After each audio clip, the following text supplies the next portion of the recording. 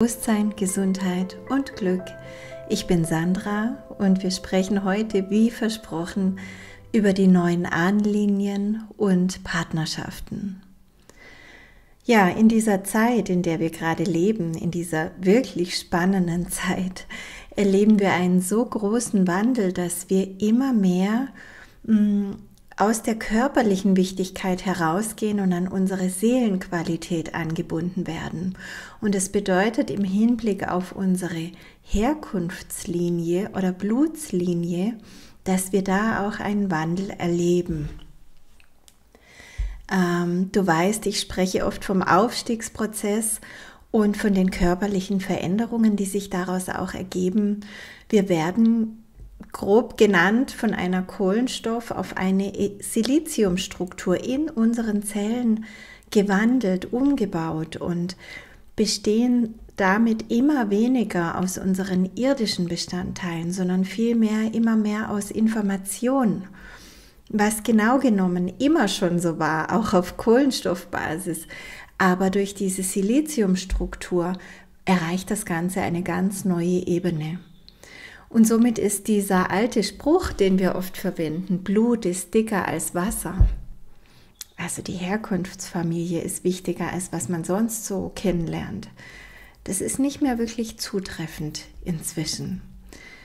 Ähm, es ist noch zutreffend für unsere selbstgewählte, selbstgegründete Familie, aber nicht zwingend für die Herkunftsfamilie. Und darauf möchte ich jetzt auch wirklich näher eingehen, weil das hat den Grund auch in der aktuellen Zeitqualität.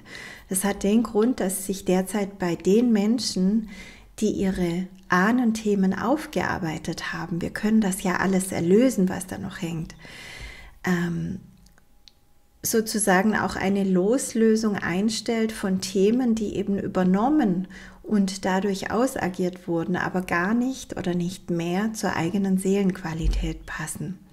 Und es ist natürlich eine große Befreiung, aber für manche auch wirklich eine große und vielleicht sogar unerwartete Veränderung. Also man merkt dann auf einmal, dass einen das alles nicht mehr interessiert, was man da immer in der Familie so durchgekaut hat, durchdiskutiert hat, ausagiert hat oder an was man irgendwie so gehaftet hat, weißt du, sentimentale Erinnerungen, Gespräche von früher, was auch immer. Und das ja, auch die Familienmitglieder der Herkunftsfamilie, wenn sie sich nicht mitwandeln wollen, ähm, auch zunehmend uninteressanter für einen werden. Natürlich ist man immer irgendwo noch verbunden durch die gemeinsame Vergangenheit und wenn man einfach in einer Familie vielleicht sogar sehr eng als Eltern und Kinder oder so inkarniert hat und gewisse Erfahrungen und Erinnerungen sind natürlich immer im Feld und es nimmt einem auch keiner. Aber wenn die emotionale Ladung herausgenommen ist, weil die Themen aufgearbeitet wurden, dann genügt das nicht unbedingt, also das, was noch verbleibt, um den Weg miteinander weiterzugehen, sondern dann entscheidet man vielleicht neu. Vielleicht ist man schlichtweg gelangweilt, keine Lust mehr auf diese Gespräche oder diese Menschen oder man merkt einfach, dass die Welten so derart auseinanderklaffen, dass es zumindest derzeit keinen Sinn macht, das weiter zu verfolgen. Vielleicht macht man mal eine Pause voneinander, hm, vielleicht dauert diese Pause dann aber auch ewig an. Ja, interessanterweise, ich habe letzte, letzte Woche schon angefangen, über dieses Thema zu sprechen im Impulse März Podcast und äh, direkt danach ging ein ganz, ganz schönes Gedicht oder Zitat durch die Telegram-Gruppen von Inga Banati. Und ähm, das greift einfach die Qualität dieser Zeit so schön auf, dass ich es hier auch reingenommen habe und dir jetzt vorlesen möchte.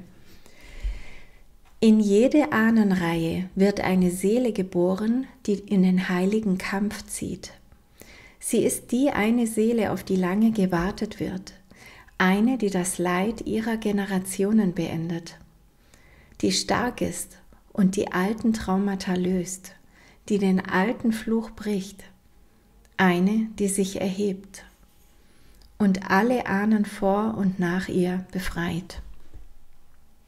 Wenn du diese Aufgabe in deiner Ahnenfamilie hast, wirst du in diesem Leben viele Schmerzen erleben. Du wirst viele Prüfungen bestehen müssen. Du wirst durch viel Leid gehen, dir wird viel Dunkles begegnen. Und gleichzeitig wird dein Licht immer heller werden. Vielleicht fragst du dich, warum dir das alles passieren muss, wer dir das auferlegt hat, wem du etwas getan hast, dass dir das alles so geschieht oder ob du dort jemals rauskommst. Lass dir sagen, das passiert alles nicht, weil du bestraft werden sollst. Nicht, weil du etwas falsch gemacht hast oder weil du in diesem Leben leiden musst. Es ist da, damit Heilung geschehen kann. Du bist diese eine Seele, die stark genug ist. Du bist es, die Erlösung bringt, die ihre Generationen befreit. Du bringst Frieden, du bringst Heilung. Heile deine alten Leben. Beende die Kriege deiner Ahnen. Befreie sie von allem Schmerz. Löse ihre Ketten, versorge ihre Wunden, bring ihnen Vergebung und mach Frieden. Sie warten schon so lange auf dich. Ja, also ich finde das ganz ergreifend, wie schön die Inga das formuliert hat. Mich hat es ergriffen, weil ich habe mich da selber total drin erkannt. Also als ich Kind war, als ich Jugendliche war, genau so habe ich mich immer gefühlt, wirklich verzweifelt im Dunklen, ängstlich und nicht wissend, ob ich da jemals wieder rauskomme. Und ja, jetzt lebe ich so ein freies, selbstbestimmtes, wunderschönes, glückliches, gesundes Leben. Und ich glaube, deswegen macht es auch Sinn, solche Podcasts zu machen, um euch einfach auch an die Hand zu geben, hey, du kommst aus allem raus. Wenn du ungefähr so einen Fahrplan hast und vielleicht auch so ein bisschen eine Bedienungsanleitung für dich selbst als Wesen Mensch, beziehungsweise auch für diese Matrix und wie wir aus ihr rauskommen. Ja, wir sind die Generation, die jetzt die ganzen alten, niedrig schwingenden Energien erlöst und mit manchen Menschen waren wir eben tatsächlich nur zu diesem Zweck überhaupt zusammen. Wir haben zusammen inkarniert, um diese alten Dinge sichtbar zu machen, um sie zu erlösen, indem wir uns zum Beispiel immer und immer wieder gespiegelt haben, was noch erlöst werden darf. Ja, auch immer wieder hm, diesen alten Schmerz, die Wut, die Scham, was auch immer, es immer wieder sichtbar zu machen, damit wir es greifen, begreifen und erlösen können. Und wenn wir jetzt diesen Weg der Erlösung gehen, vielleicht schon einige Zeit gehen, dann können wir den Wandel ganz klar beobachten und auch ganz tief verstehen, dass wir eben nicht unsere Vergangenheit sind, dass wir nicht das sind, was uns passiert ist, sondern wir sind das, was wir wählen zu sein. Das wiederhole ich immer und immer wieder, denn das gilt für diese Zeit. Wir dürfen uns von unserer Vergangenheit befreien und neu wählen. Und ich weiß, dass viele von euch, vielleicht genau du, dass du jetzt vielleicht traurig bist über den einen oder anderen Abschied. Oder ja, vielleicht hast du auch ganz und gar mit deiner Herkunftslinie gebrochen, abgeschlossen. Aber sei dir bewusst, Du bist gerade dabei, etwas völlig Neues zu beginnen. Du bist gerade dabei, eine neue Linie zu gründen. Eine neue, saubere, liebevolle, lebensfreundliche Linie. Wir sind so großartige, wundervolle, schöpferische Wesen und ja, wir befreien uns gerade von den Ketten unserer Vergangenheit und gehen neue Wege, neue Wege, in eine neue gemeinsame Welt, über die ich schon so viel gesprochen und geschrieben habe. Und wer das noch nicht kennt, ich kann mich nicht immer wiederholen. Deswegen lest hierzu gerne mein Buch Involution, in dem ich auch auf den ganzen Aufstiegsprozess von Menschheit und Erde detailliert eingehe. Aber um beim Thema jetzt zu bleiben, beim Transformieren dieser alten Energien, die wir nicht in die neue Welt mitnehmen wollen, sind sowohl unsere Familie als auch unsere Partnerschaften betroffen. Partnerschaften ist, sind zwar keine Blutsverwandtschaften, aber die hängen natürlich direkt dran, weil wir kommen aus einer Familienstruktur, aus einer Vergangenheit, die uns programmiert hat, irgendwann in Partnerschaften hinein. Und wenn wir jetzt aber beginnen, diese äh, Ahnenlinie zu säubern, zu erlösen und, und zu energetisieren, dann bedeutet das, dass manche Programme ja gar nicht mehr da sind, die wir bisher in den Partnerschaften ähm, ausagiert haben, beziehungsweise mh, mm, über die wir überhaupt Partner angezogen haben. Und da will ich jetzt mit dir noch gemeinsam näher drauf blicken. Ich mh, mm, gliedere das mal in zwei Filter. In den letzten Jahren ging so ein Filter durch unser Leben. Also ich spreche konkret von diesen drei besonderen Jahren, die wir da jetzt hinter uns haben, seit 2020. Und dieser Filter, Filter, der filtert immer feiner. Genau genommen kann man sagen, erst gab es so einen groben Filter, der unser Leben irgendwo verändert hat, ähm, ja teilweise sogar auf den Kopf gestellt hat. Und diese Zeitqualität bedeutet eben, dass wir unser Leben auf einer ganz neuen Ebene verstehen und bewusst wählen, wie wir es gestalten und zu welcher Welt und damit natürlich auch Menschen wir gehören. Es gibt immer noch die alte Welt mit diesen destruktiven Systemen und es gibt die neue Welt, die gerade entsteht und in vielen Abschnitten auch schon da ist und immer mehr belebt wird.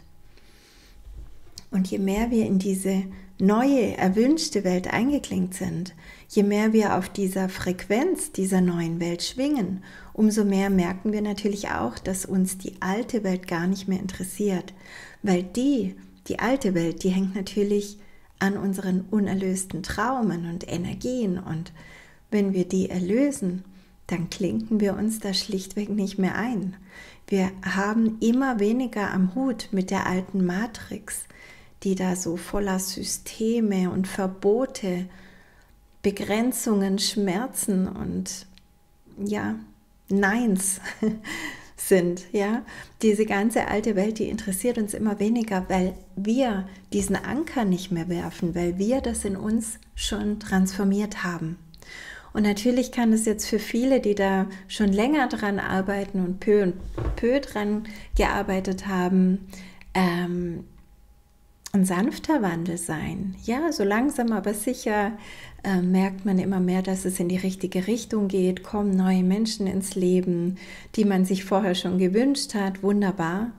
Aber manchmal für die, die jetzt gerade so beginnen und vielleicht auch, weil diese Zeitqualität jetzt gerade so Rückenwind gibt, auch richtig schnell durchgehen und richtig viel auflösen und richtig klare Entscheidungen treffen, kann es auch sehr abrupt sein. Also so, als hättest du mit deiner Fernbedienung einfach einen Film umgeschaltet und da lief vorher der Horrorfilm und das Drama und jetzt bist du in der Leichtigkeit des Seinskomödie gelandet, ja.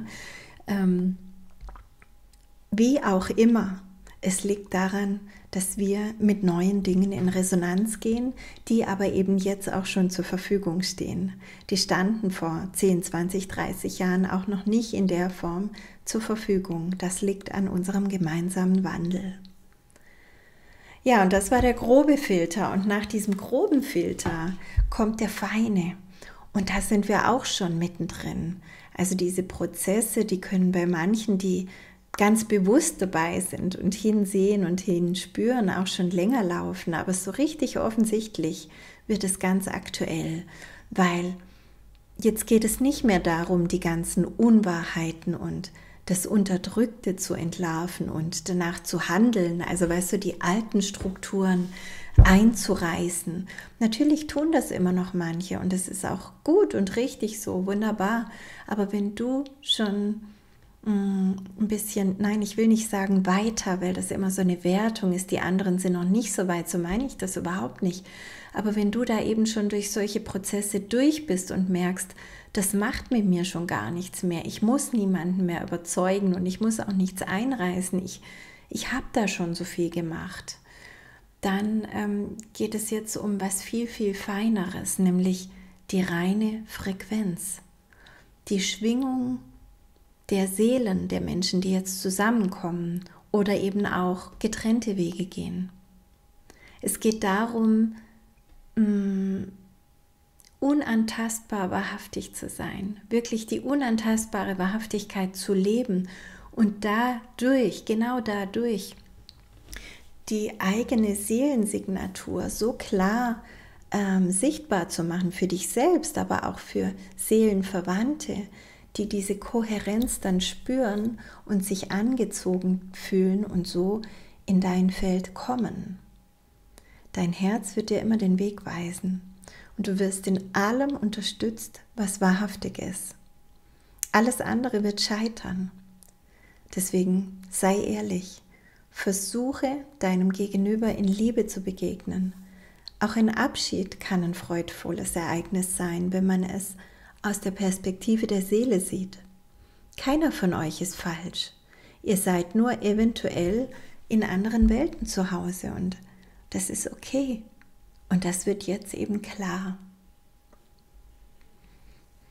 Ja, kommen wir zu den Partnerschaften der neuen Zeit. Also hauptsächlich durch die Loslösung aus den alten, verhärteten Familienstrukturen verändern sich jetzt natürlich auch die Partnerschaften. Zumindest die, ähm, die noch mit den alten Glaubensvorstellungen ähm, und Ego-Welten vernetzt waren, also mit der alten Matrix, mit alten Familienprogrammen.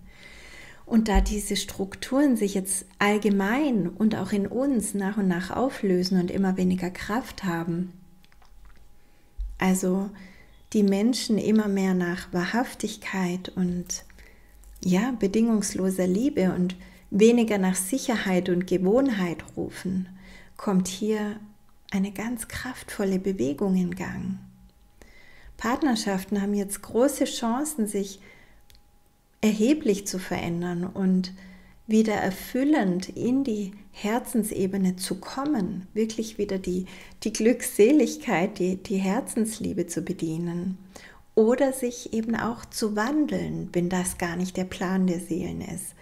Dann können zum Beispiel aus Partnerschaften Freundschaften werden oder auch aus Freundschaften Partnerschaften. Wenn zwei merken, dass sie den Weg nicht mehr als Paar gemeinsam gehen möchten, dann ähm, lief das früher oft so auf dieser alten Ebene der Schuldzuweisung und Opfermentalität, Täter-Opfer-Prinzip, weißt du, immer so dieses, ja, wir hätten es ja geschafft, wenn du dich anders verhalten hättest, wenn du dies und das nicht gemacht hättest oder nicht unterlassen hättest oder wie auch immer. Und dann muss man mit anderen sprechen, um die auf die eigene Seite rüberzuziehen. Man muss Begründungen finden. In der alten Welt muss alles eine Begründung haben und das Ego möchte immer gerne gut dastehen. Also, dass die anderen sagen, oh ja, du hast wirklich keine Schuld und er oder sie war schuld. Aber das passt überhaupt gar nicht mehr zu der neuen Zeitqualität.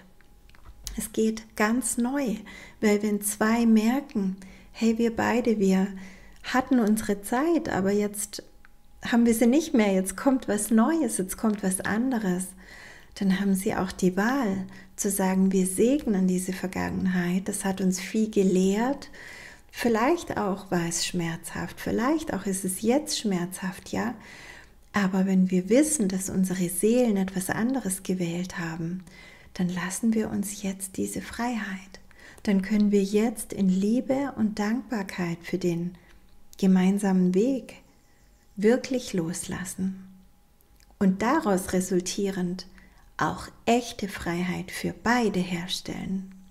Weil das war ja bisher auch oft so, dass nur der eine die Trennung wollte und der andere nicht. Und dann gab es dieses Hin und Her und dieses Verlassenwerden und einer muss sich die Freiheit so erkämpfen und ist aber immer ein bisschen schuld und der andere ist ja verlassen und deswegen auch nicht frei. Und ja, beide können sich bewusst loslassen, beide können sich in Liebe und Dankbarkeit loslassen und beide können damit in echter Freiheit, weißt du, wirklich mit einer neuen Basis unter den Füßen, mit einem stabilen Boden unter den Füßen in jeweils ihre Richtung losgehen.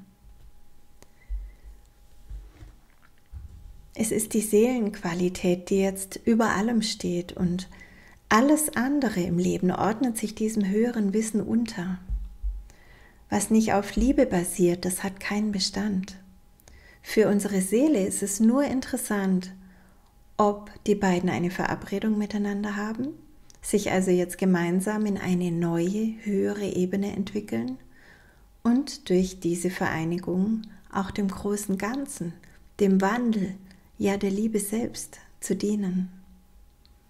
Ja, und durch diese neuen Verbindungen unter verwandten Seelen, auch unter Dualseelen natürlich, kommen jetzt ganz viele zusammen, ähm, werden wir auch immer mehr an unsere feinstofflichen Ursprünge angebunden bzw. erinnert.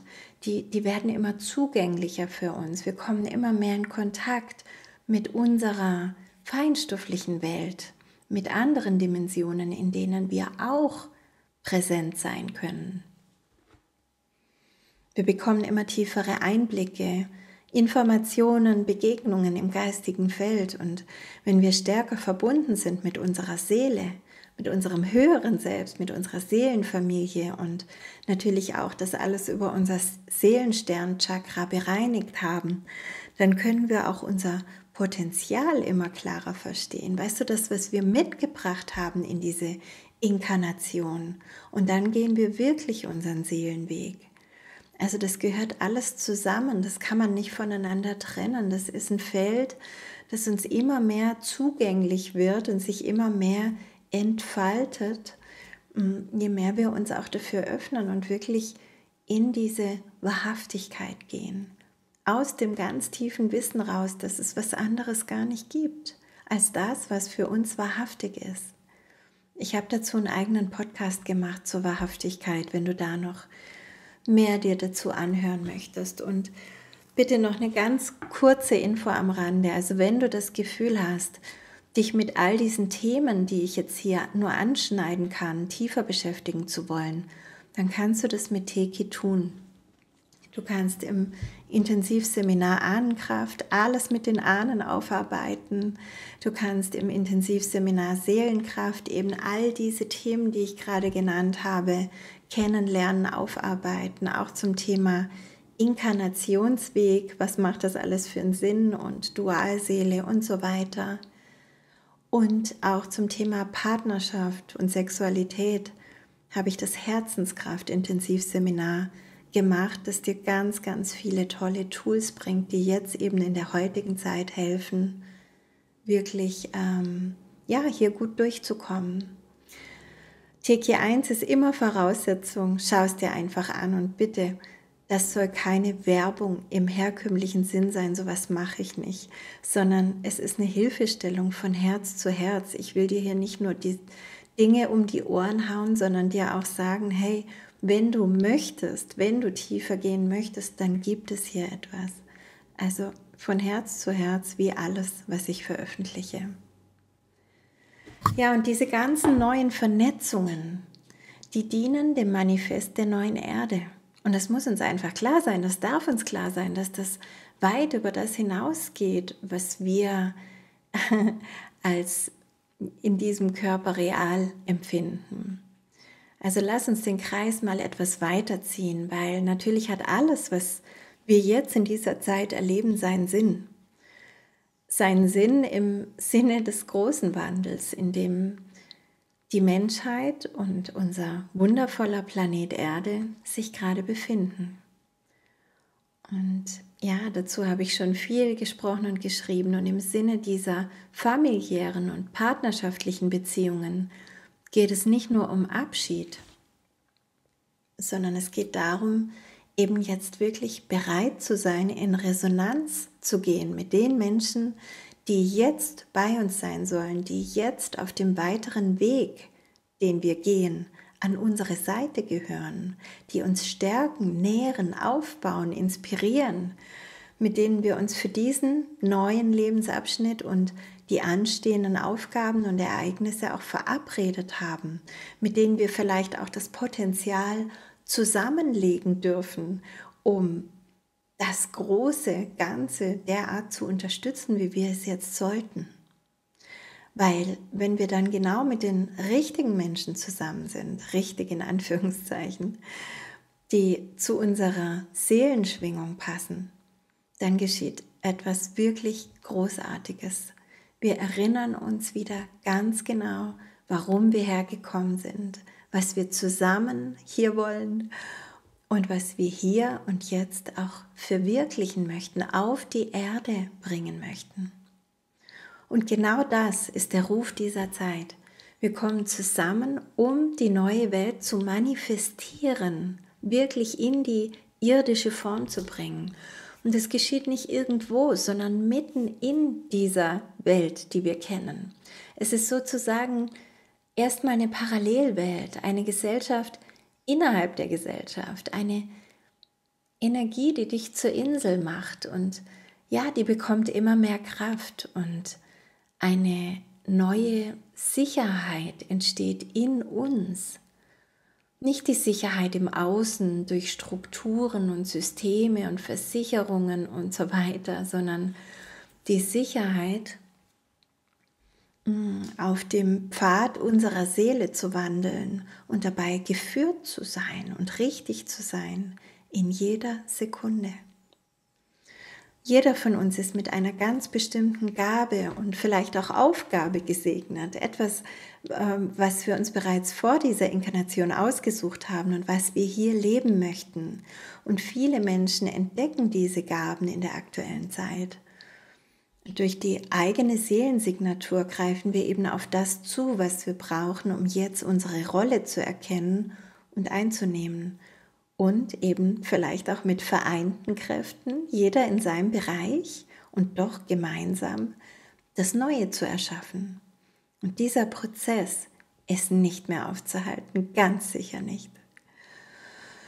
Wichtig ist auch zu wissen, dass niemand verloren geht. Wir trennen uns nicht wirklich. Doch in dieser ja, Erfahrungsebene Erde ist es eben so, dass wir jetzt mal für eine Weile andere Wege erkunden. Und irgendwann führen sie vielleicht auch wieder zusammen. Und bis dahin dürfen wir vertrauen und unaufhaltbar unseren Herzen folgen.